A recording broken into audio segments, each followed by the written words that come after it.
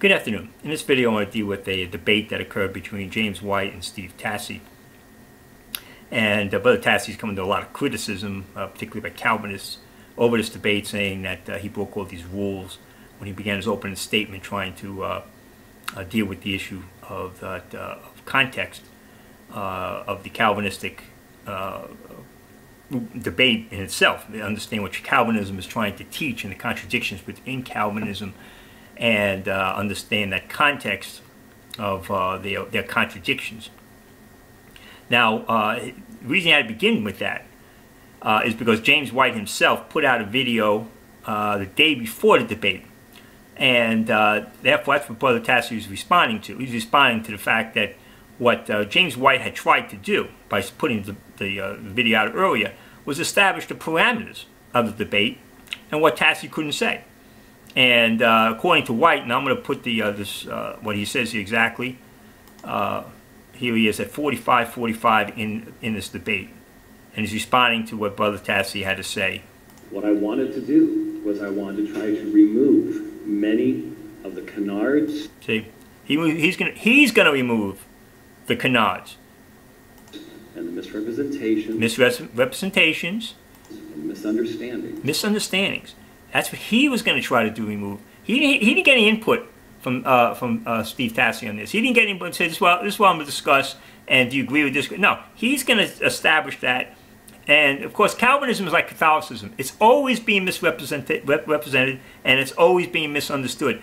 And that's what uh, uh, Brother Tassi points out in the beginning. The, they, there's so many contradictions in Calvinism. They're always finding ways to avoid the, uh, the, the, the, realities of Calvinism and uh, always shifting. They're always shifting on you, and that's why you have a problem with nailing them down. They always have this. Well, we don't say this. We don't say that. Well, we, we believe in free will. Oh, we, we don't believe in free. Yeah, we believe. You can't you can't accuse God uh, of, of saying this. About. They're always saying one thing and then saying something else, and that's that's why uh, dealing with Calvinism is uh, Calvinism is uh, uh, basically a, um, a, a a religion, a theological view that is essentially contradictory, has inner contradictions, because if you trace it back to its logical conclusion, God is the author of sin, it's essentially like Islam.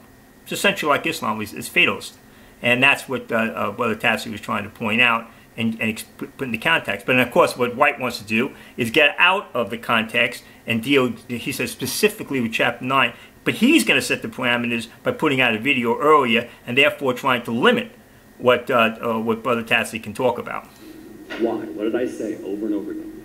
So we could focus specifically on Romans 9.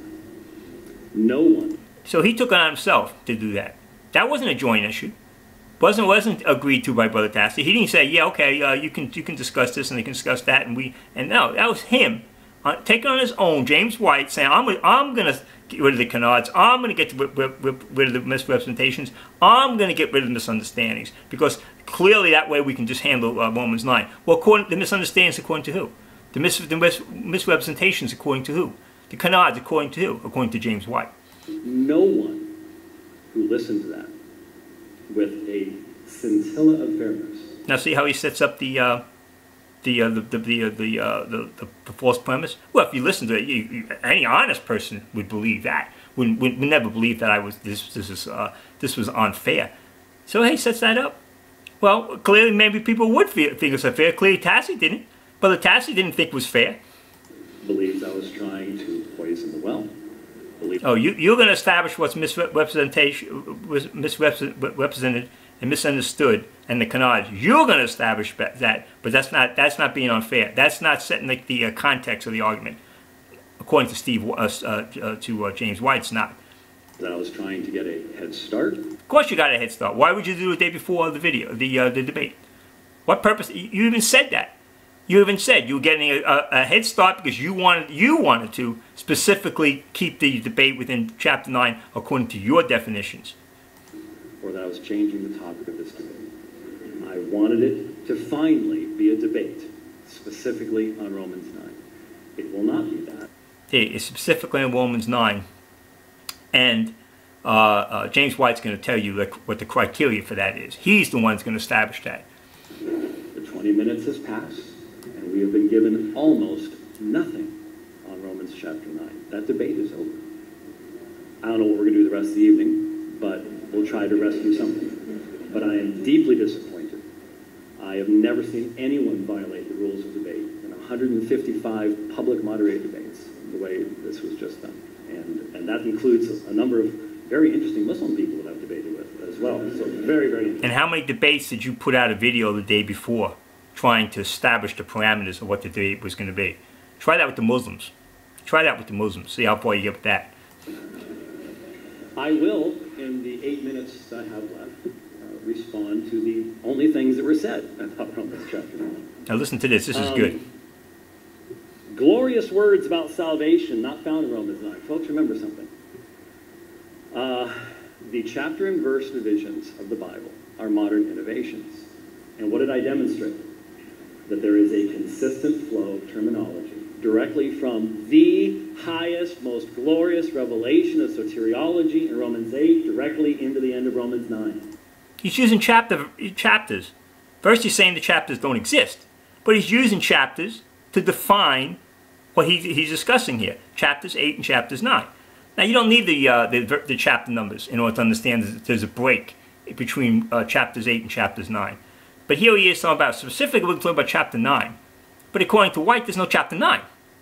It's just really chapter eight, a continuation of chapter eight, and at, and then he goes at the end of chapter nine. But according to him, there's no chapters. There's just one big, uh, long uh, discourse uh, by uh, Paul. Because according to him, the chapter the chapter numbers can't be trusted uh, because they're modern innovations, and yet he's going to use those modern innovations to, to uh, distinguish chapter eight and chapter nine, chapter seven, and yet he's going to say also, well, there's no break. There's a break, and it has nothing to do with the chapter number, the chapters, uh, the modern chapter uh, uh, being set up. They're, they're set up based on what is the logical break in chap- between chapters 8 and chapters 9. So here's total false issue. It's right there. You can't isolate Romans 9 from Romans 8. Then why do we call them Romans 8 from uh, Romans 9? What are you calling them that then, if you can't isolate them? Why are you calling what chapter 9 chapter 9 when it's really, it's really part of chapter 8? There were no chapter and verse divisions when Paul wrote that. So there's no chapters. And yet he's going to call chapters 8 and chapter 9. But we can't, we can't separate, according to him, he, uh, you can't separate chapters 9 from chapter 8 because there's no chapter uh, division. And yet that's what he constantly calls chapters 8 and chapters 9. The fact is, chapters, chapter 9 is not part of chapter 8. He can say it's a continuation of chapters 8, but you can't use you can't say it on the basis because there's no chapter uh, chapter the, the chapters issue is, is a modern issue. That's not the, that's not the criteria. The criteria is where is the break in the thinking of Paul. Paul breaks off at the end of chapter 8. There's a clear break, and it begins chapter 9. So anyway, th this is this is the uh, uh, this is James White in all his glory, lying, deceitful, clever, and uh, how he puts things out, and uh, the uh, the attacks on uh, Brother Tassi and and and the that he's, he did something wrong and he broke all these rules and this is horrible. The fact is, White was the one who broke the rules initially, and then he tried to uh, cover it up and say, oh, any honest man would say, I'm never. He said he was getting rid of canards, by whose definition are the canards? He was getting rid of the uh, misunderstandings, but according to whose definition is misunderstanding? Tassi didn't have anything to do with that. He wasn't asked about, about it. We, uh, then the debate did begin the day before. And that's exactly what White was trying to do. Establish what he wanted to call chap, uh, the argument about Chapter 9, so, so Brother Tassi couldn't, to, couldn't uh, set the, uh, uh, a broader context. Because in order to understand Chapters 9, you got to understand the context it's written in and what it's readdressing and the fact that it's parathenical. And uh, oh, it's another thing that White can't understand is that salvation is always not always so soteriological. He keeps using mis, uh, into, uh, into exchanging his words. and that's what Tassi is pointing out. He's finally saying some salvation to do physical salvation, not the soteriological salvation. But according to White, he doesn't even, he doesn't even, that doesn't even register with him. See, it's all, it's all, it's all soteriological. And the fact is that Romans 9 to 11, the salvation uh, talk is spoken about often there is physical salvation from destruction. And that was a lot of the Old Testament was that was about uh, the Lord blessing or cursing you, and uh, stopping uh, uh the, uh, the, the, the destruction the, of personal destruction of, being killed. But anyway, this is again white, and that's why you don't debate. You can't debate these guys.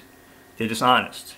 They're dishonest. And a Calvinist who's so full of uh, deception. And uh, uh, well, you've got to, when you trace Calvin, Calvin's institutes, institutes back logically, Calvin has to admit that he doesn't have any answers. It's mystical. It's all mysticism to him, and no one can know. That's what that's that's the root of Calvinism, mysticism, and it's no different in kind, in kind to the same nonsense that they are. Oh, no, it's not the same kind of fatalism. No, if Islam, no different. No different than the same. You get the same result if you trace it back large. Now they what they try to do is they put a lot of uh, uh, uh, smoke and mirrors in front of you. That's why they try to keep you from going back and keep tracing it back. And what if this? What if that? They've got to redefine terms. They've got to uh, put up a lot of uh, uh, fancy theological terms Uh, in order to uh, uh, to try to dazzle you and don't try to prevent you from asking the next logical question that eventually leads you to where even Calvin had to say, well, we just can't know that show a mystery of God. That's where you end up. You end up God himself being the author and responsible for moral, not not uh, not evil in the sense of punishment for sin, because there's two two uh, terms for evil, uh, and, and, it could be punishment for sin, and that's what God brought. He's responsible for that. He brought that on in the world uh, and death uh, for punishment of sin but moral evil. And we know the one responsible for moral evil was Satan. And uh, God gave uh, Lucifer free will, and Lucifer chose to use that free will against God. And God allowed it. But God is not responsible for it. So take a look at the, the debate and some of the issues there, and you see uh, the, a, a, man, Steve, the, James White, again, showing what a dishonest individual he is, and the fact that uh, he can't debate fairly, fairly uh, because uh, he can't he can't deal with the issues. He's got to uh, uh, try to distort them and lay the criteria, the parameters of a debate that was going to begin next day. He couldn't hold off. He was going to establish. He was going to clear up these misrepresentations and misunderstandings. He was going to do that, and he took on himself and uh, then or, or Brother Tassi was was informed of what, and then of course he said, well, no reasonable man would have. Well, the fact is, it was unfair, and uh, it was illegitimate, and it was dishonest. Amen. Thank you.